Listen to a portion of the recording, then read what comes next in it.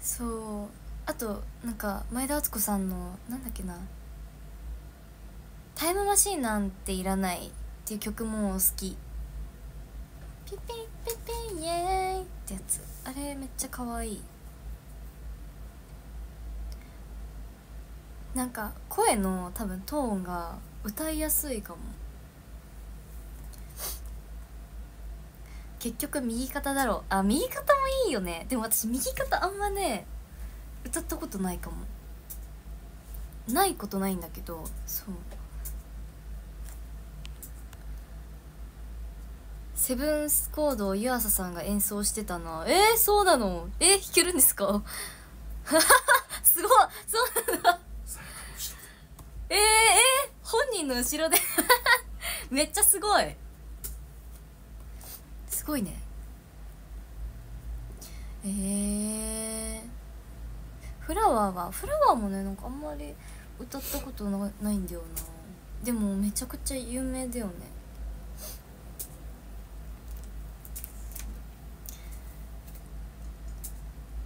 はい。では カラオケ無事に終わったから次行くわ。でもこれさみんなカラオケ大丈夫かな？もしなった時。めっちゃね遅れて聞こえるんだよね。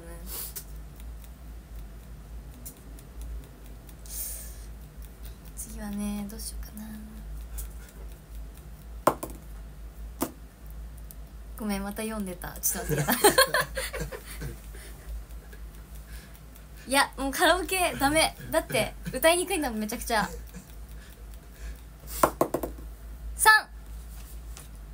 まるまるな話？まるまるな話？なんだろうな。まるまるな話か。なうん。なんか最近ネタあったかな。うん。まるまるな話か。いやでも、ね、絶対絶対あるよね。絶対あるんだけど。最近どんなことがあったかな。うんうん。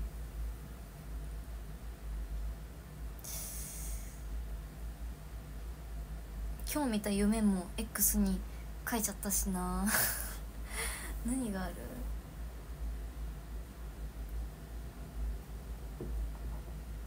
あーでも最近なんか旭山動物園行ったんだけどさっきも喋ったねこの旭山に行った話。で旭山動物園行ったの。じゃあさなんかさもぐもぐタイムっていうのがさすごいね毎日あるんだけど今回初めてその狼のもぐもぐタイム見てきた。でもなんか狼はもぐもぐタイムっていうかなんかおやつのなんかタイムみたいな感じだった。そう。なんか夜まで時間あるけどその食べさせすぎもなんか夜食べれなくなっちゃうからみたいなのであんまたくさんはあげないんだけどそうおやつのもぐもぐタイムみたいな見てきたの。たさなんかよく飼育員さんが説明しながらねあのご飯あげてくれるの。でもなんか上下関係があるらしくてその狼の中にも。3匹いたんだけどなんかオスが1匹メスが2匹だったのね。でそのオスオスが一番でも年下なんだけどなんかオスがもうこの2匹のリーダーみたいな感じでうん、すごいなって思った。ちゃんと社会が出来上がっててそのそう狼の中で。で餌をなんかまんべんなく本当はあげたいんだけどもしその格下の狼に餌を先にあげちゃったりとかなんか他のさリーダーが食べようとしてるのにそれをなんかこっちにもあげなきゃと思って格下の狼とかにあげちゃうとなんか良くないらしくて。何て言うの？その狼社会でひどい扱いを受けちゃったりとかするんだって。だからそう。一口もあげられない時もあるんだけどでも裏に戻ったらその子にもちゃんとあげるので安心してくださいみたいに言っててなんかすごっと思った。すごいよね。そう厳しいカースト制度がありました。ねえなんか先に食べちゃいけないって。ねえ何これって。えどういうこと？何これ？花が。花もビギナーです。うん。そう。きっちりしてるでしょ？今のななみんもみんなフォローしてあげてね。ここにいたから。うん。そうなんか野生の世界ってすごいなと思った。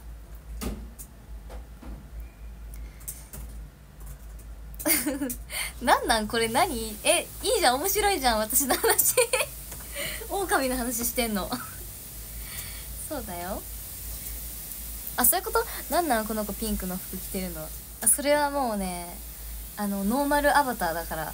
あなたノーマルアバターだからだよそうあで狼はね狼のもぐもぐも見たんだけどその近くになんかレッサーパンダのあったのもぐもぐタイムが。でレッサーパンダってめっちゃ可愛くて本当なんか動物園のアイドルみたいな感じなんだけど近かったの。ほんと近かったんだけど時間がどんかぶりで見に行けなかったの。でも狼の方がちょっと見てみたくてそう。でも次行った時はレッサーパンダ見に行きたい。めっちゃ可愛い。ほんと可愛いから。なんかレッサーパンダにはなんかそういう厳しい格差社会ってあんのかな？なカースト制度みたいな。あんまなさそうじゃない？ショールームにもカースト制度があるから。え嘘？ないでしょ？え？そんな？聞いたことないんだけど。レッサーパンダといえば風太くん？あ風太くん知ってる。え風太くんってえ待って。あなんだっけ？あレッサーパンダですか？どこの動物園だっけそれ？いやでも旭山じゃないねそれ。風太くんってでもめちゃくちゃ有名なレッサーパンダだよね。レッサーパンダ界の有名人。あ千葉千葉だ。千葉の動物園にいるんだ。あの達子です。千葉動物園の。そう千葉か。あじゃあみー見たことあるかな？あかわい。い めっちゃかわいいんだけど。かわい。いレッサーパンダの写真見たけど可愛かった今。えー、風太くん見に行きたい。いいな千葉か。千葉なら行けないこともない。うん有名人じゃなく有名レッサーパンダ。確かに。有名レッサーパンダ。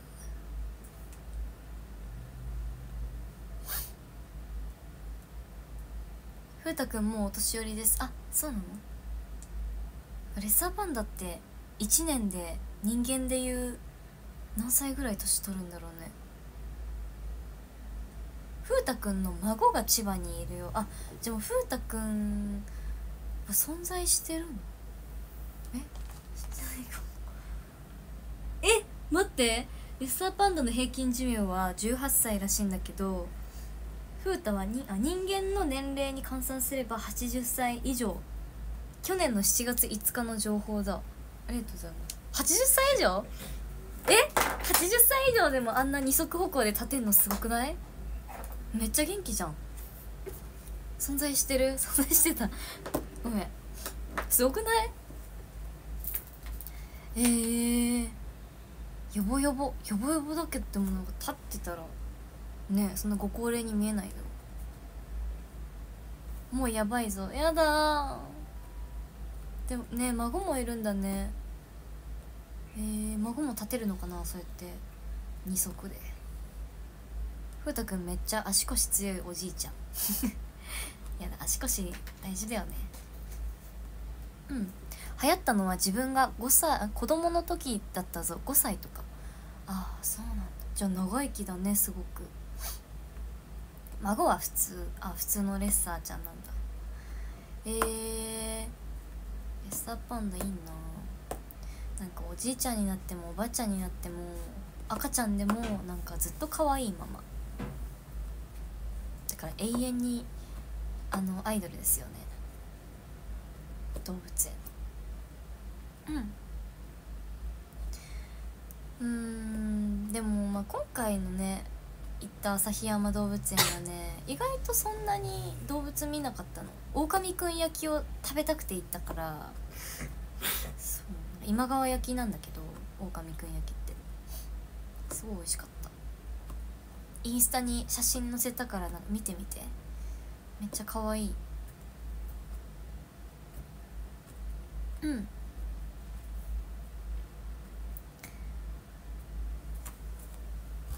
全然アザラシ見てお猿さん見て帰ったぐらい。なんか猿山も見てきたんだけど猿山はなんかずっと回ってんの。ぐるぐるぐるぐる集団でわーって。なんかさぐるぐる回ってもずっと同じなのになんであんなずっと回ってんだろうって不思議だったの見てて。本当に永遠に回ってんの？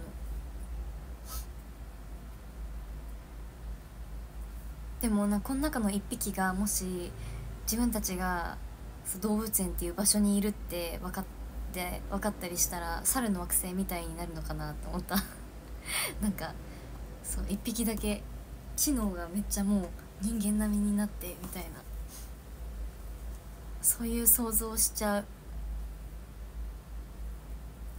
猿の惑星見たことある？めっちゃ面白いよ。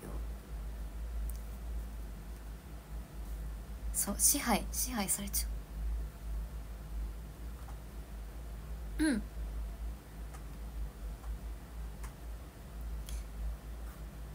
怠け者ねいないんだよね旭山は。怠け者見たいんだけど札幌行かないとダメですね。うん。大人になると動物園は行か行かなくなるは次は自分に子供ができた時。本当に？私結構好きなんだよな。全然好きはい。じゃあ次のサイコロ回してみるか。次は出てないのはね1と、えー、5と6次が最後にするね。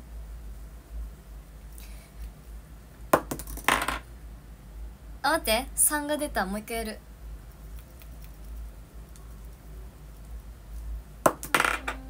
おお1 1が出ました。1か。1はねこれですね。じゃーん。ちょっと時間がやばいので急ぎます。ラルメールに入ろうと思ったきっかけ？理由？ラルメール？ラルメールか。でもまあ確かに私的にはアイドル。2回目のアイドルってことだもんね。でもこれは確かによく聞かれるの。2回目。なんで2回目のアイドル？なんか普通にさ卒業とかしたらみんな女優さんとかさになることが多いじゃん。でも私はアイドルになったんだけどでも単純になんだろう大人数と少人数では話がわけが違うのよね全然。大人数だとなんだろうなんか周りに溶け込めるようにっていう何て言うんだろうな。パフォーマンスとかもそうだしさ。協調性ってのがすごい大事になってくるじゃん。そう。でなんだろうな。まあ、歌割りとかも、まあ、3人とか1人の歌割りとかもないことが多いんだけどさ大人数って。でもなんかもし1人で自分のカラーがねまあ私今アクアブルー担当なんだけど自分のカラーとかがあったらそうどうどうなるんだろうっていう、まあ、単純な疑問というかそういう経験もしてみたいと思ってだからこの少人数のラルメールに入ろうと思いました。なんか歌割りもまそれぞれ、まあ、1パートずつになって変わったことはね。でやっぱりなんだろうなそのポジションでの、まあ、自分だけのポジションだからそこが。なんかより、まあ、責任感がなかったわけじゃないんだけど第1章の時のアイドルでも。でもなんか第2章の方がよりなんだろうな責任感があるというかもう見られてるっていう責任感がめちゃくちゃ増した気がする。そう。なんか意欲がすごなんだ上手くなろうっていう意欲がすごく強くなったって感じかもしれません。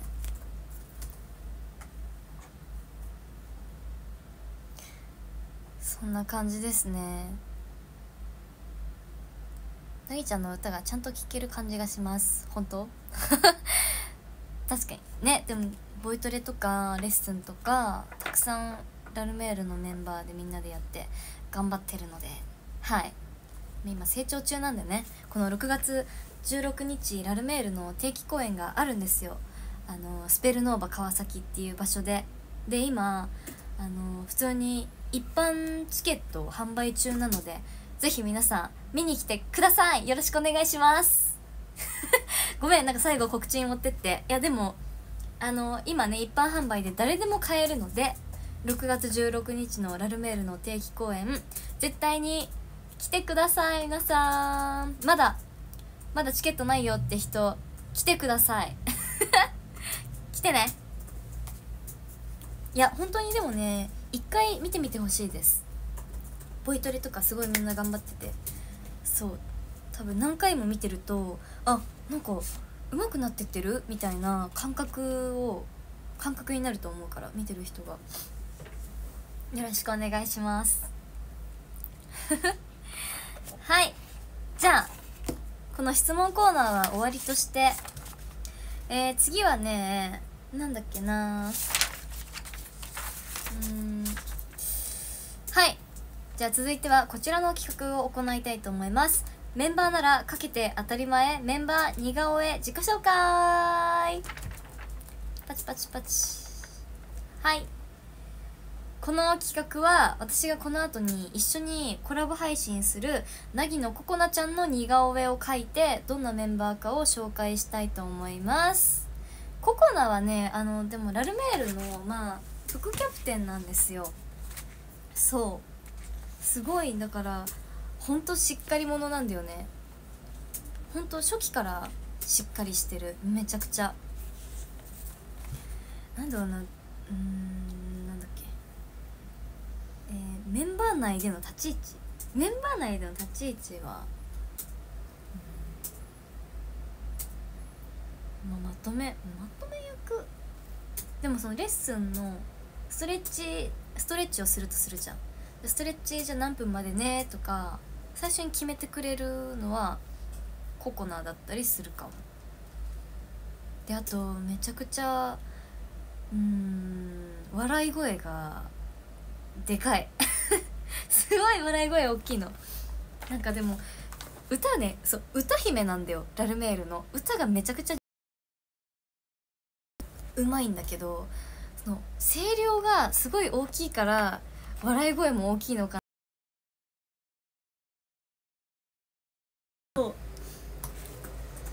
なんであんな声量出るんだろうってなんかリハーサルしてても思う。マイク持ってない時も声が通るの。私結構さ声があんまり通らないからどういうどういう声帯してるんだろうってめっちゃ思うの。そこ？いや本当に分かんない。待って似顔絵描かなきゃ。でココアナの似顔絵も描かなきゃいけないんですよ。どうしようかな。コナは今前髪がないのでさて。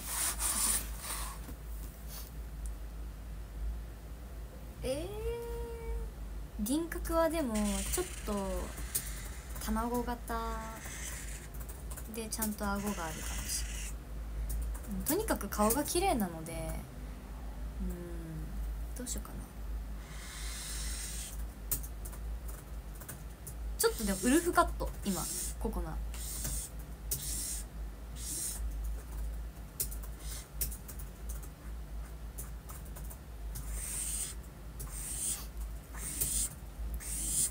あでもね私と同じで結構歩くの早いかもここな帰る時とかめっちゃ早い。あーちょっと待って顎もうちょっととんがってるかも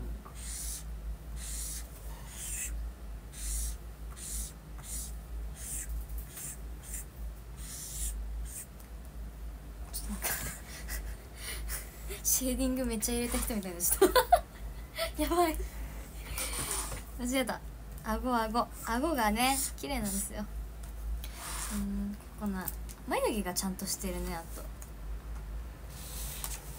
えいやちょっとつってるかな。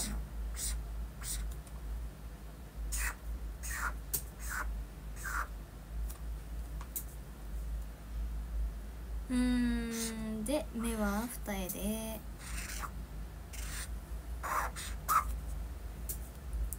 そう目鼻立ちがはっきりしてるんですよね。あ目離れすぎたかもちょっと。もうちょっと近かったかも。鼻も綺麗。でもなんか鼻高いのをさ描くの難しいんだよな。ちゃんとね眉間からちゃんと鼻筋があるのあでもちょっとミスっ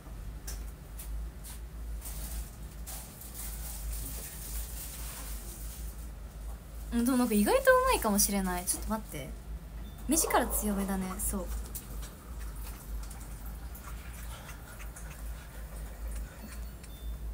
でも私えなんか普通にうまくないですか？いや。ちょっとね。意外とうまいから全然突っ込めないかもみんなが。うんここなえここな目がな目むずいな。いやでも真っ黒な方がいいかも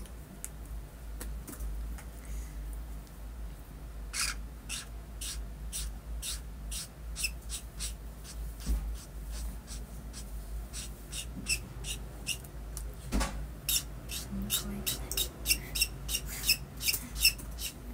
漆黒です。ココナは本当に漆黒の目をしてる。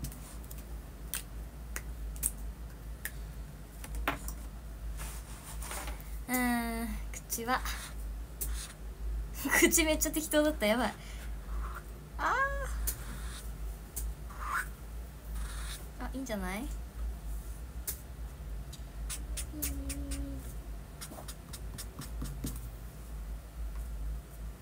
オッケーなんか特徴ないないいか待って髪短いわ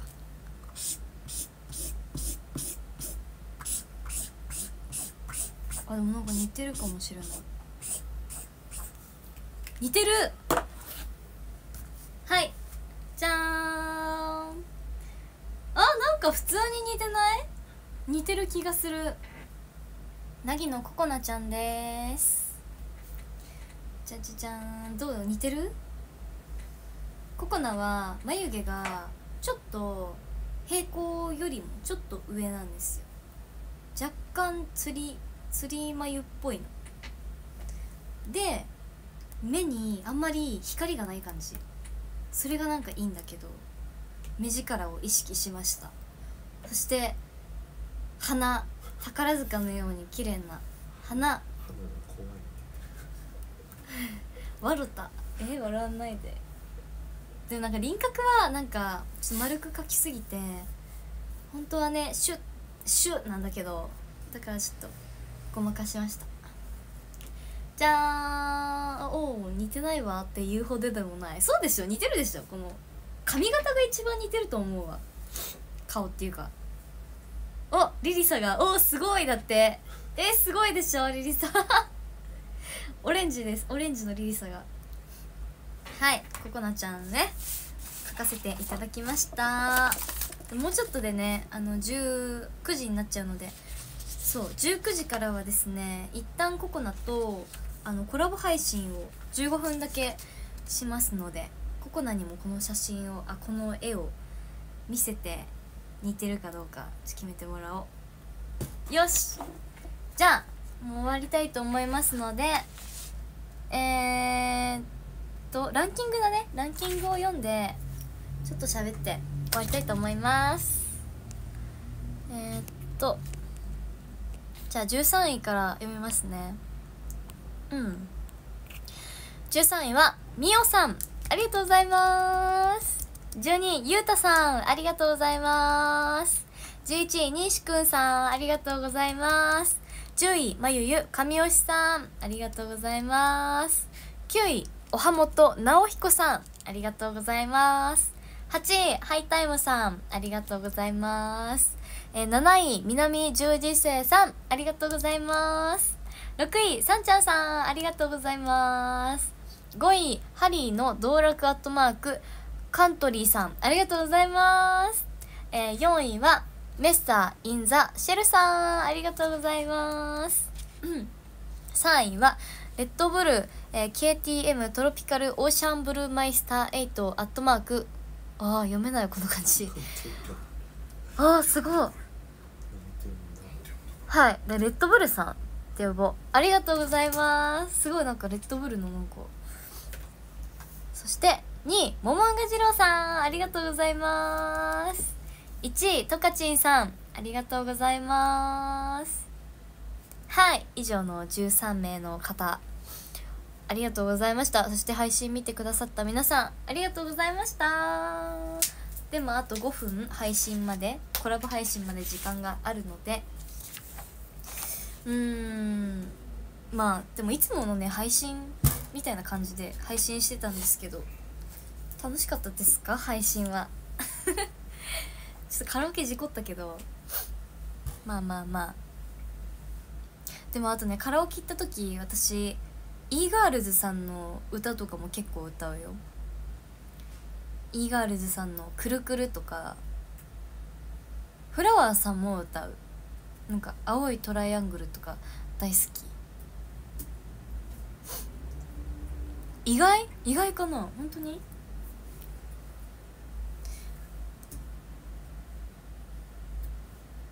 そう歌うことが多い。あと生き物係さんとか。ねでも本当に世代って感じがする。西野カナさんも好きだし。なんかそうね。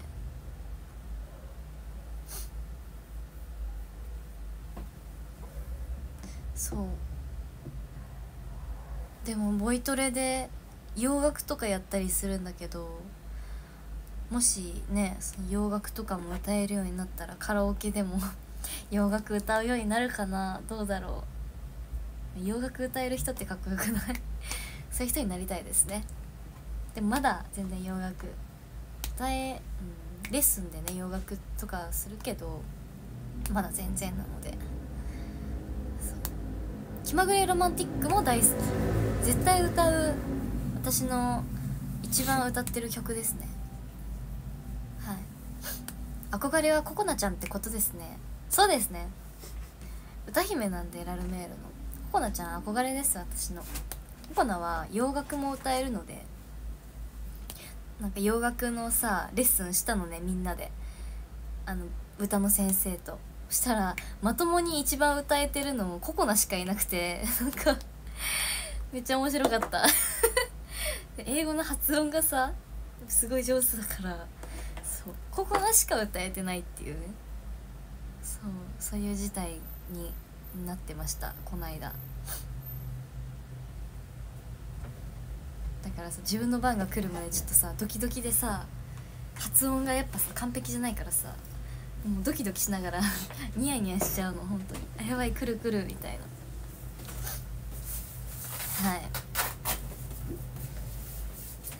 じゃあもうちょっとでね19時になるのでじゃあそろそろ配信を一旦終わってもう一回配信するのであのコラボの配信になるのでちょっと見に来てくださいまた皆さん。一回切ります。バイバーイあカラオケを終わってなかった私。OK